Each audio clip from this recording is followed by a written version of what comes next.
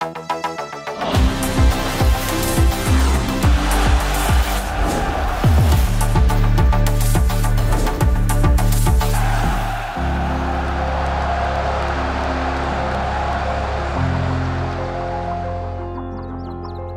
Score in de Wijk is een maatschappelijke tak van uh, FC Twente.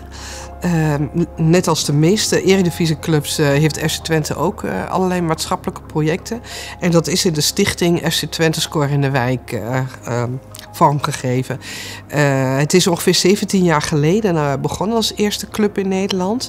En uh, de gedachte er toen achter was um, dat de FC Twente iets terug zou doen aan de regio op maatschappelijk gebied. Nou, dat is heel klein begonnen met één project bij de twee wijken die naast het trainingscentrum liggen. Berglo S in Hengelo en Twekkelenveld hier in Enschede. En ja, dat is eigenlijk uitgegroeid naar... Um, uh, 15 projecten nu. Een aantal hele grote en wat kleinere.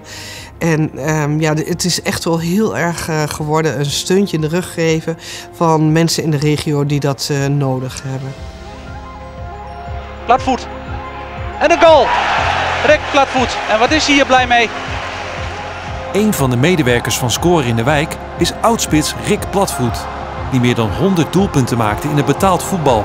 En nu drijvende kracht is van het project supporter van elkaar. En platvoet, nu is het al raak. Dan gebeurt het eindelijk waar Twente al een tijdje recht op had, maar waar het zelf uh, bij verzuimde. Rick, van scoren op het veld naar scoren in de wijk. Hoe is dat zo gekomen? Uh, ja, dat is, dat is wel een verhaal op zich. Uh, ik ben uh, inderdaad uh, eerst ja, natuurlijk als profvoetballer actief geweest. En daarna in, het, ja, in de jeugdopleidingen van FC Twente en Go Ahead Eagles. En die zijn uiteindelijk samengegaan, werkzaam geweest. Als trainer en als mentaal begeleider. Dus ik had altijd al wel de interesse om verder te kijken dan alleen de speler en meer de mensen achter de speler. En via eigenlijk, uh, toen ik in, het, uh, in de academie actief was, um, ben ik gevraagd om eens mee te bewegen met het project Supporter van elkaar als ambassadeur. Als lid van de selectie die wij bij Supporter van elkaar hebben. Ja, en eigenlijk werd, ik, werd daar mijn vlammetje een beetje aangewakkerd. En ja, toen ehm, ben ik vanuit een aantal keren in de, in de sessies mee bewegen. gevraagd of ik zelf die groep niet wou draaien. En ja, eigenlijk is dat ja, zeg maar de korte weg naar hoe ik nu hier ben beland.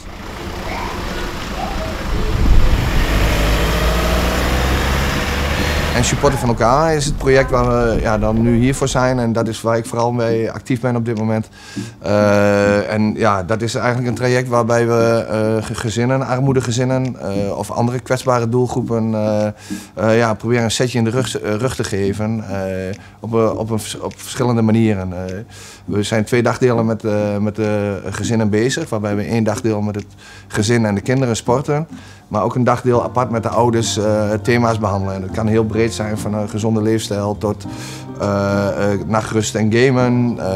Tot uiteindelijk naar van wie ben ik, waar liggen mijn competenties en kunnen wij daar een verbinding mee leggen naar jouw toekomst. Dus 18 weken dat we met het project draaien. Uh, en daarna hopen we in duurzaamheid verbindingen te leggen met instanties of uh, partners uh, die we hebben, of eventueel bedrijven of leden van de selectie. om de deelnemers dan ja, een, een vervolgtraject aan te kunnen bieden.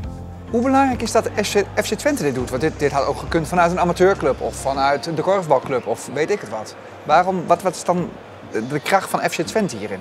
Ja, omdat je echt midden in de wijk zit. En we zitten ook in de wijken waar denk ik ook heel veel supporters van, uh, van FC Twente zitten. En dat haalt gewoon drempels weg. Uh, mensen zijn veel vrijer. Nou, ik, heb, ik heb zelf dan nog uh, als speler ook nog het voordeel dat ik vanuit die hoek ook kan praten. Nou, vanuit die verbinding merk je gewoon dat, dat ja, in de eerste weken bouwen we heel erg aan vertrouwen. Maar dat vertrouwen heel snel uh, gewonnen wordt, omdat het over FC Twente gaat. En het is hun clubje en het is samen. Maar over het algemeen, omdat het van FC Twente is, heeft het een hele mooie uh, motiverende factor. Zijn mensen ook niet, hebben geen slechte ervaringen in, in uh, gemeentelijk land of in welzijnsland. En um, als ze dan eenmaal meedoen, dan is het heel fijn om met hun in gesprek te gaan van wat heb je eigenlijk nodig voor de stappen die je wil maken.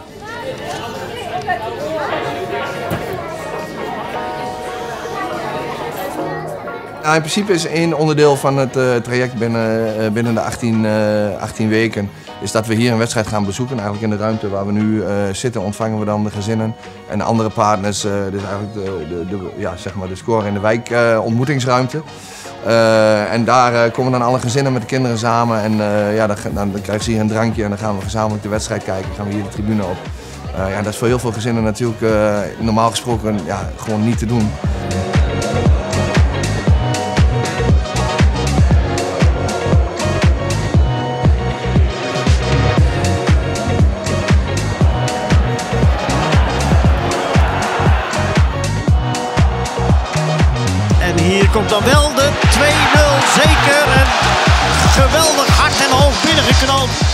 Dat is gewoon een hartstikke leuke, leuke happening. Het is niet dat het inhoudelijk dan heel veel uh, betekent. Het is gewoon uh, wat FC Twente dan als extraatje kan bieden aan de gezinnen. In de thema's en in de onderwerpen tijdens de uh, oude sessies, daar gaat veel meer de diepte in op, op de ontwikkeling van de, van de ouders zelf ook.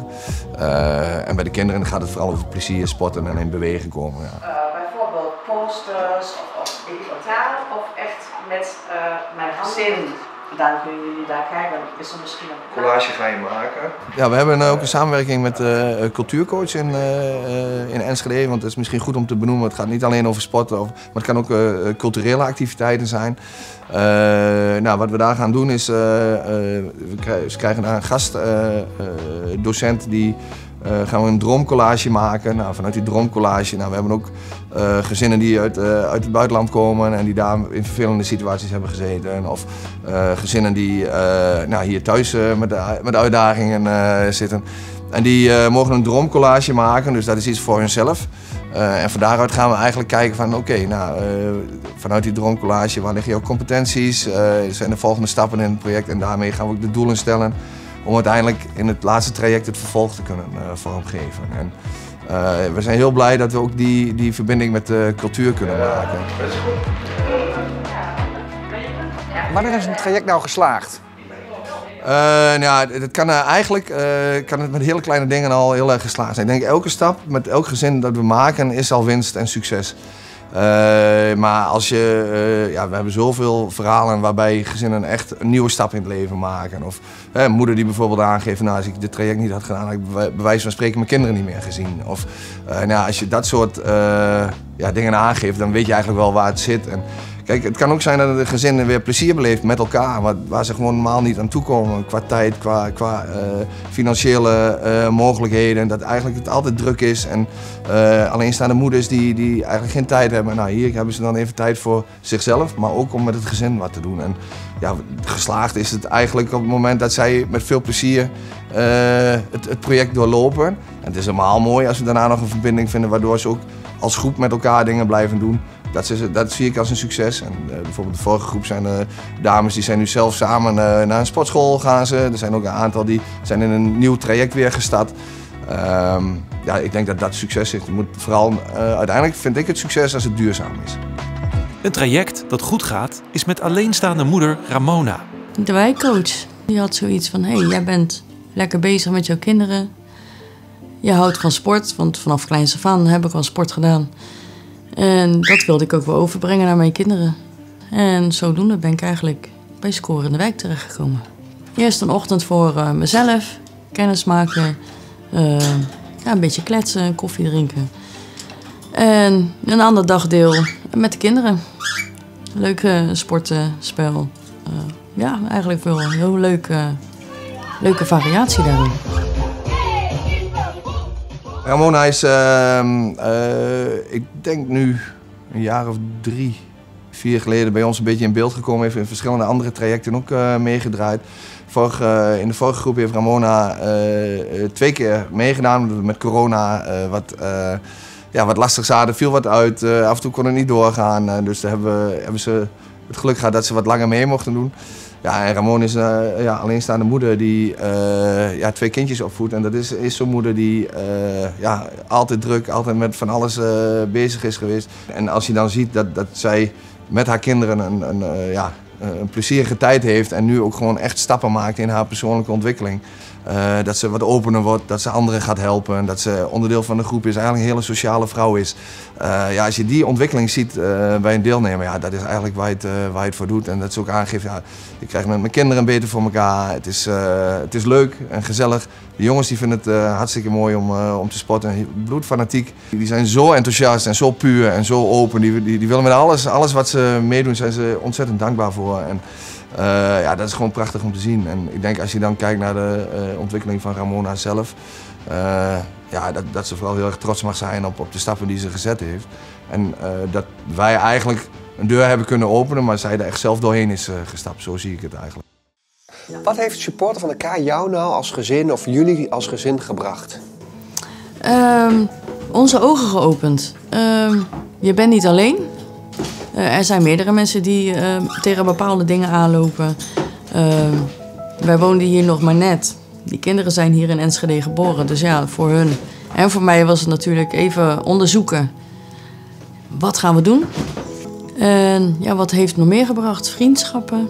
Ja, meer inzicht in het dagelijks leven, gezondheid, bewegen. Eigenlijk alles wat een beetje gezond is, probeer ik over te brengen naar mijn kinderen.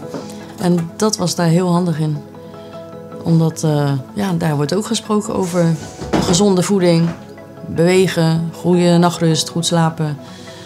Ja, eigenlijk van alles. Waren er dingen die je daarvoor misschien minder deed? Veel minder. Ja. Ja, nu meer bewust kijken van oh, wat hebben die kinderen nodig qua eten. Minder suiker, minder snoepjes, minder frisdrank. Dus dat, uh, ja, meer groentes eten, meer gezondere dingen eten. Dus dat uh, proberen we er allemaal in te stoppen bij ze, wat niet altijd uh, heel makkelijk gaat. Ik heb een hele goede vriendin eraan overgehouden. Die zie ik zeker twee keer in de week. Ja, zij heeft ook een, uh, ook een zoon. Die, wel wat ouder dan die van mij, maar ja, ik vind het leuk om toch bij elkaar op visite te komen. Ja, we ondernemen dingen ook samen. En met kinderen en zonder kinderen. Dus dat is ook wel heel, heel leuk. Ramona is eigenlijk bij ons gekomen in, toen ze het heel erg moeilijk had. En ehm, al heel snel had zij in de groep een vriendin. En um, nou, op, op de een of andere manier gebeurden er allerlei positieve dingen uh, in de groep en in haar leven. Waardoor zij um, ja, gelukkiger is geworden, maar ook meer is gaan meedoen uh, in de maatschappij. anderen is gaan helpen, anderen hebben haar geholpen met van alles en nog wat. Ze kan weer een leukere moeder zijn voor haar kinderen. en dat merkt ze gewoon ook wel weer. dat krijgt ze terug van de school van de kinderen dat het ook wat beter met hun gaat. En ze hebben weer meer plezier met elkaar in huis. Dus ja, op allerlei fronten uh, geeft ze zelf ook aan dat het haar heel erg goed gedaan heeft om mee te doen. Uh. Vind je dat nog extra leuk dat het met voetbal te maken heeft? Heb je dan nog iets met Twente? Ja, ze zijn nou twee keer mee geweest naar het stadion en ze vinden het prachtig. Dus ja, dat uh, is voor herhaling vatbaar. Ook, ook na die bijeenkomsten van, van hun gaan we toch proberen om het zelf ook ja, minimaal één keer in het jaar toch te gaan. Wat zijn dingen waar een alleenstaande moeder uit Rotterdam in Enschede tegenaan loopt? Um, ja, waar moet je zijn? Waar moet je zijn? En niet alles wordt, uh, wordt je op een, uh, op een dienblad gegeven. Voor sommige dingen, ja, dan moet je echt mensen voor in je omgeving hebben die, uh, ja, die de oog voor hebben en die weten waar je moet zijn voor bepaalde dingen. Hoe kan dat sporten of die sessies die gezinnen helpen of die mensen helpen? Uh, nou, wat, wat, wat ik al aangaf, het zijn vaak, kwetsbare, uh, is vaak een kwetsbare doelgroep. Uh, waarbij het vaak gaat over wat er niet kan. En ja, wij door middel van sporten, maar ook de extraatjes die wij kunnen bieden, gaat het vooral over wat kan er wel. En over plezier en, en, en, en gezelligheid en samen zijn. ja, en daarin onderscheiden wij ons denk ik van normale trajecten. Of waarin bijvoorbeeld gezinnen gekort worden. Of dat je toch vaak wat weerstand herkent.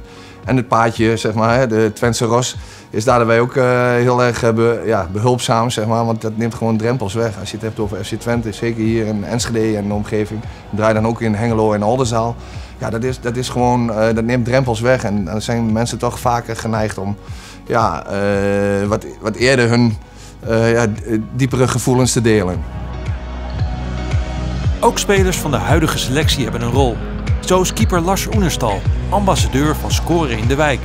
In het verleden was Wout Brama uh, zeg maar ambassadeur van dit project. Nou, in de selectie uh, Eh, daar, daar zit ook eh, vaak oud-spelers, oud-speelsters ook, eh, vanuit, eh, eh, vanuit de vrouwentak. Eh, maar nu eh, is Lars eh, wordt onze nieuwe ambassadeur. En eh, nou, we hebben eh, laatst hier ook een eh, ontmoeting gehad in het stadion. Was een activiteit eh, dat we door het stadion heen zijn eh, geweest. Hebben we een fruitspeurtocht gedaan eh, met de kinderen in het stadion en in de kleedkamer. Daar is Lars dan bij aanwezig. En die heeft eigenlijk het hele traject, of de hele middag heeft hij meege, meegedaan. En we hopen hem nog een aantal keer te gebruiken. En misschien bij het einde dat hij nog ja, ehm, misschien een, diplomaatje uit kan reiken of iets in die vorm. Maar op, die manier, uh, Lars is heel erg betrokken. En je merkt gewoon, zeker voor de deelnemers die echt veel met Twente hebben. Maar ook de deelnemers die Twente nog niet kennen, dat ze toch zoiets hebben. Hé, hey, dit is uh, Lars Oenestaan. Dat, dat geeft toch iets extra's. Uh, ja. Voor die kids was het denk ik heel, heel mooi, ook voor, voor de hele gezin, om uh, in de stadion te zitten. Een beetje meet and greet met mij, zeg ik maar. we hebben nog een paar spulletjes gedaan. Bijvoorbeeld hebben we um, Freud verstopt op, de, op de tribune en iedereen moest het zoeken in twee teams. En wie die meeste vindt, heeft gewonnen. En ja, allemaal zo spulletjes. En om gewoon een leuke dag te hebben met al die kinderen en die gezinnen van hen. Ja, ze zijn uh, heel blij. Ze hebben heel veel plezier. Je ziet wel dat ze ja, helemaal loskomen van al die dingen die, die, die ze ja, thuis hebben of, of andere dingen wat, wat niet mooi is. Maar ja, in dit soort momenten dat zie je dat ze gewoon lachen en plezier hebben en dat is echt heel mooi. Ja, Oenestal. Ja, Lars Oenestal, keeper van Twente. Uh, de laatste keer dat we, uh, dat we er waren, was hij er ook. Hij kwam binnen en ik draaide mij om en ik zag... Jongens, daar is hij! Daar is hij! Mama was blij, hè? Ja. Uh, ja, leuk. We hadden onze uh, supporter van elkaar shirt hadden we aan. En toen hebben we een handtekening erop laten zetten. De kinderen hebben een beetje lopen voetballen. Uh, met andere kinderen ook. En uh, ja, na de rand, omdat ik, uh, ja, net zoals jullie, moest ik natuurlijk ook voor een camera. En toen heeft hij ook nog vragen gesteld. En ook aan de kinderen, hè? hoe dat ze het vonden. En ja, ze waren een beetje verlegen, maar dat, ja, het was leuk. Het was heel leuk. Foto's gemaakt. En ja, mijn zusje zei aan de hand van die foto is dat onze broer. onze lang verloren broer. Het zou zomaar kunnen. Bijna hetzelfde kleur haar, hetzelfde soort neus. Dus het zou zomaar kunnen. Als je naar zo'n actie weer, weer, op de club komt, uh, uh, op de training, heb je het wel over van... Ja, gisteren was ik ja, ergens en we hebben die actie gedaan en het was echt leuk. En die andere vertelt dan iets, ja, ergens was ik daar en daar en hebben we dit gezien of gedaan. En um, ja, dat is wel goed om te zien dat dan iedereen zegt dan ook, het was mooi. En niet van, ja, ik moet weer daar naartoe of moet weer hier naartoe. Maar iedereen gaat ook met uh, plezier naartoe. Kun jij eens de Ramona omschrijven van vier jaar geleden, toen je tegen dingen aanliep? Hè, en toen je begon? Ja. En de Ramona van nu? De Ramona van toen was een heel ander persoon. Die had je ook niet hoeven vragen voor zo'n interview als dit. Want die had gewoon nee gezegd. En die had met zo'n rood hoofd gezeten waarschijnlijk. Uh, ja, het heeft me wat, uh, wat zelfverzekerdheid uh, gegeven eigenlijk. Uh, meer zelfvertrouwen. Kijken naar jezelf. En dat, dat deed ik bijna niet. Ik keek altijd naar anderen van, oh, ja, maar die en die.